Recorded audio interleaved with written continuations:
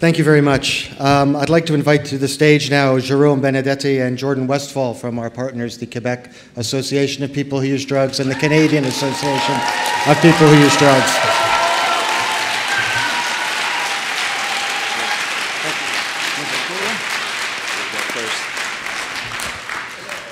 People who use drugs are dying across Canada very suddenly every six hours in British Columbia, every 12 hours in Ontario.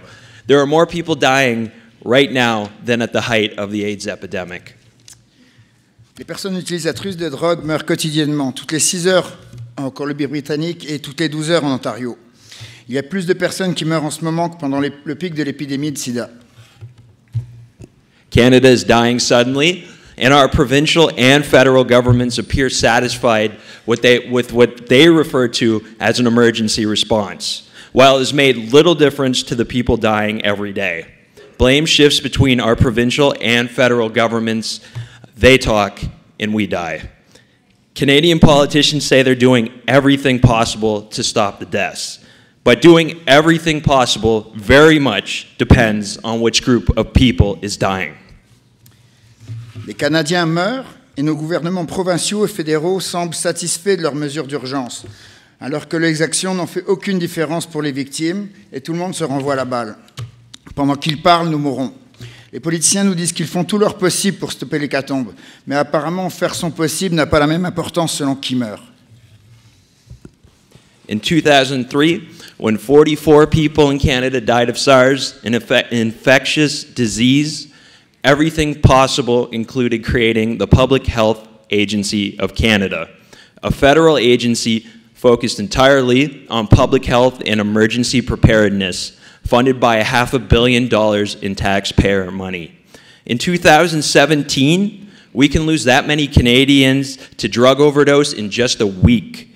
In the Public Health Agency of Canada, the body created to protect public health saw this epidemic as a fitting time to cut funding to harm reduction services that save lives and prevent overdose deaths. Ask yourselves if people were dying of anything else, would doing everything we can include cut, cutting funding to life saving services? How can this response be an adequate one when our governmental bodies responsible for public health cut funding to harm reduction services?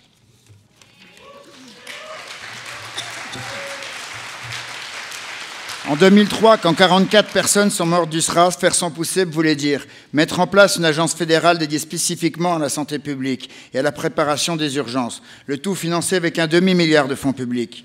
En 2017, en une seule semaine, nous pouvons perdre le même nombre de Canadiens victimes de surdose. Et l'Agence de santé publique du Canada, une institution fondée pour protéger la santé publique, a trouvé opportun de couper des financements au groupe en réduction du méfait.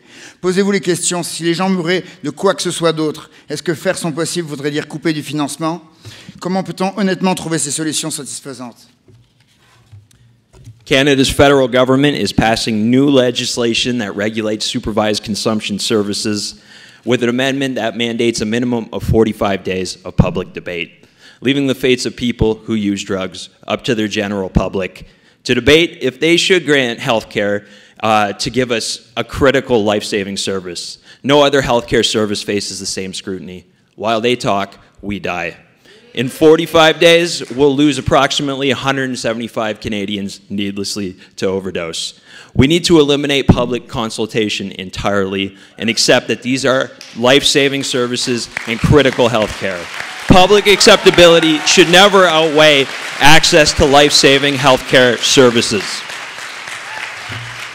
Le gouvernement fédéral est en train de passer de nouvelles lois pour réglementer les services de consommation supervisée. Parmi les amendements, la période maximale de consultation de 90 jours a été supprimée et remplacée par une période minimale de 45 jours sans limite de durée. L'ouverture de services de santé essentiels ne devrait jamais être soumise à l'opinion des riverains. Il est-il est, est acceptable de laisser les gens mourir dans des conditions sordides? Pendant que vous parlez, nous mourrons. Et 175 Canadiens perdront la vie durant les prochains 45 jours. We need you to change the discussion about people who use drugs entirely. We can't wait for public consultations. We shouldn't have to wait for public consultations. We need immediate exemptions so we can get these supervised consumption sites open across the country. Madame la ministre Philpott, nous avons besoin de vous pour que change totalement le discours sur les personnes qui consomment des drogues. Nous n'avons pas besoin de consultation publique. Nous avons besoin d'un processus d'exemption d'urgence pour que nous puissions ouvrir les services partout au pays. Ce n'est pas des réponses que nous voulons, mais des actions. History teaches us that prohibition failed us in the 20th century, and it is once again failing us in the 21st. The United States lost thousands of people during alcohol pro prohibition, lives lost to drinking contaminated alcohol. Alcohol prohibition ended in 1933 and the deaths of liquor consumers stopped happening. While different in context and circumstances, the overdose epidemic we face now can be remedied in much the same way. Legal regulation and decriminalization. In a very small way, supervised consumption sites start this conversation. Under Canadian law, drug possession is decriminalized within a supervised consumption site. They exist as a neutral zone in a war on drugs, and nobody using the service ever dies. Canada is making other policy shifts in this direction. We see Bill C-224, which decriminalizes drug possession at the scene of an overdose. We also see a liberation uh, to accessing prescription heroin. Uh, as small as that step may be, we need the provincial governments and the regulatory bodies to step up and start establishing heroin assisted treatment clinics. And that goes in British Columbia, it goes in Ontario and Quebec.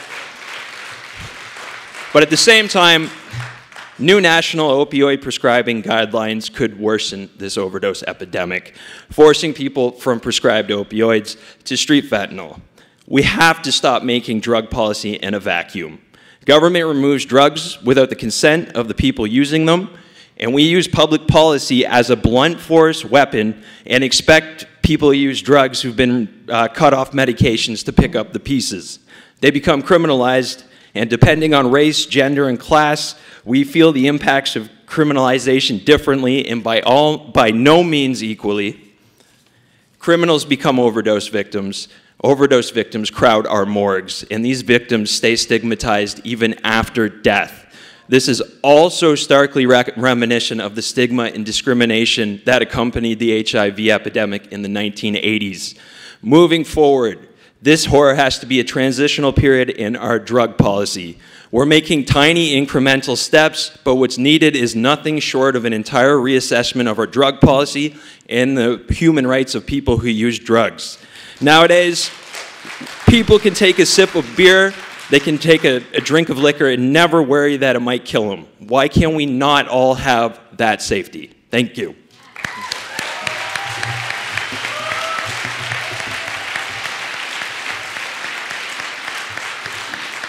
Au-delà des drames individuels et de l'état de deuil permanent que notre communauté vit en ce moment, il serait plus que temps de se questionner en tant que société.